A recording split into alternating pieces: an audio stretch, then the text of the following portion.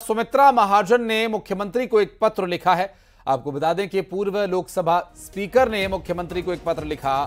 Rail line के tunnel बनाए जाने को लेकर यह पत्र लिखा गया है। अफसरों पर सहयोग नहीं करने की बात लिखी है और बलवाड़ा रेल लाइन के लिए टनल बनाए जाने हैं और पाताल पानी से बलवाड़ा तक 21 टनल बनाई जानी है और इसके लिए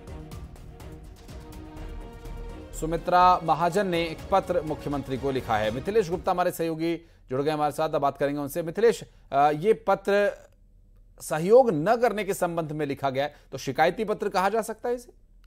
जी, बिल्कुल शिकायत पत्री है ये और ताई ने अभी जब कुछ दिन पहले ही, दो दिन पहले जब मुख्यमंत्री इंदौर में थे अलग अलग कार्यक्रम में शामिल हो रहे थे तभी उन्होंने ये बात कही थी कि जो वन विभाग के अधिकारी, जो फॉरेस्ट के अधिकारी हैं, उनके द्वारा बिल्कुल भी सहयोग नहीं मिल रहा है और सहयोग नहीं मिलने की वजह से इन सब कामों में काफ़ी समय लग रहा है। और आने वाले समय में दो हज़ार अट्ठाईस में सिंहस्थ का आयोजन उज्जैन में होना है और अगर दो ज्योतिर्लिंग की बात करते हैं तो ओमकारेश्वर और महाकालेश्वर। दो महत्वपूर्ण ज्योतिर्लिंग है और इन जो दोनों ज्योतिर्लिंग की कनेक्टिविटी के लिए ये टनल का निर्माण करना बेहद ज़रूरी है।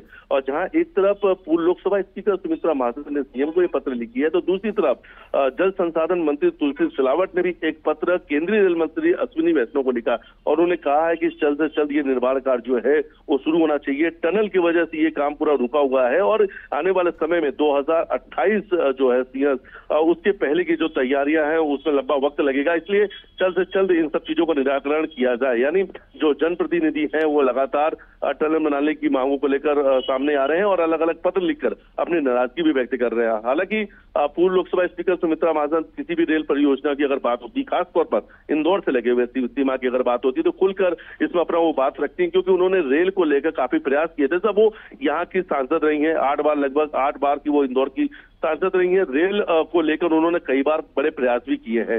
हालाँकि अब इंदौर रेलवे स्टेशन पे बड़े प्रोजेक्ट भी चल रहे हैं लेकिन टनल जो है टनल को लेकर ये पत्र सामने आया है और पत्र को जो है वो अब पत्र के माध्यम से कहीं ना कहीं नाराज़गी व्यक्त करती हुई नज़र आ रही है। बिल्कुल और ये नाराज़गी पर मुख्यमंत्री के द्वारा क्या प्रतिक्रिया दी जाती है? मिथिलेश ये भी डिटेल्स लेंगे आपसे आगे।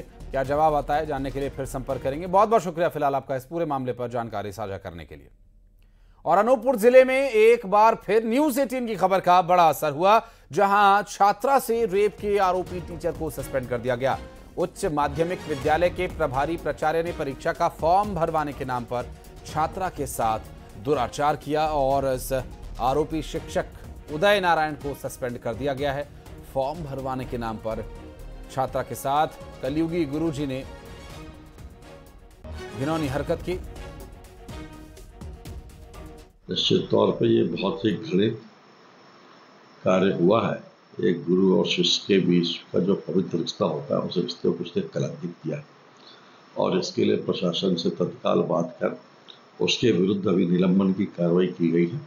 और जैसे आगे की मेडिकल रिपोर्ट और भी जो आएँगे, उसके विरुद्ध जो भी विधिक संगत और भी जो कठोर से कठोर कार्रवाई होगी, वो हम करेंगे। तत्काल ही संबंधित महिला की शिकायत पर अपराध पंजीबद्ध कर लिया गया है बीएनएस व एस सी की तर्क संगत धाराओं के अंतर्गत। आरोपी की तलाश लगातार की जा रही है। हमारी टीम लगी हुई है। अलग अलग टीमें एसपी सर के मार्गदर्शन में कार्य करते हुए पता तलाश के लिए प्रयासरत है।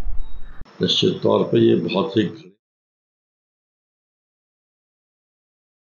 अब कैसे हुआ इस पूरे मामले का खुलासा और अभी क्या कुछ कार्रवाई चल रही है? ये जैसे ही जो छात्रा थी उन्होंने जैसे ही थाने पर शिकायत की उसके बाद लगातार जो आरोपी है उसकी तलाश की जा रही है जगह जगह पर उनकी तलाश की जा रही है उनके ठिकानों पर खंगाला जा रहा है लेकिन अभी तक गिरफ़्तार नहीं हुआ है। और जैसे संभागा जो संभागी उपायुक्त हैं उन्होंने जैसे ही ये एफ़ दर्ज हुई इसी तत्कालीन उन्हें निलंबित कर दिया गया है। बहुत शुक्रिया आपका इस पूरे मामले पर जानकारी देने के लिए।